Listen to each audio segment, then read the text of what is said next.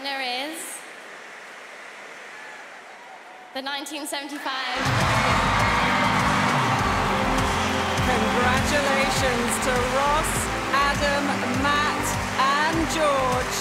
It's been a phenomenal 12 months for the Manchester group with a number one album on both sides of the Atlantic and now a shiny Brit Award to their name.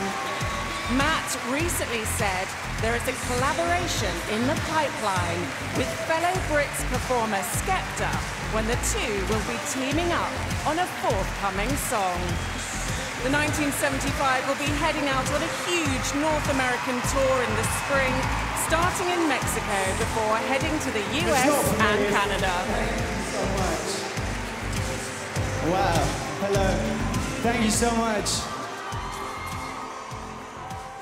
Thank you. Um, I'll speak on behalf of all of us for a change. Um, this is mental.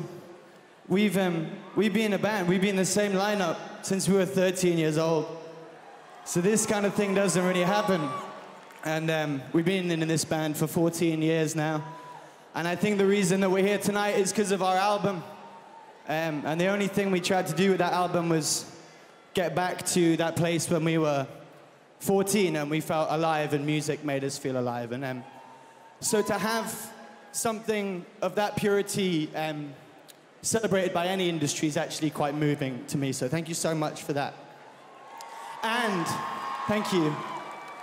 And I just want to say at the moment, a lot of the time, I think people in pop music and in the broader public consciousness are told to stay in your lane. You stay in your lane when it comes to talking about social issues. But if you have a platform, don't do that. Please don't do that. Uh, we love you and we're very, very honored. Thank you so much.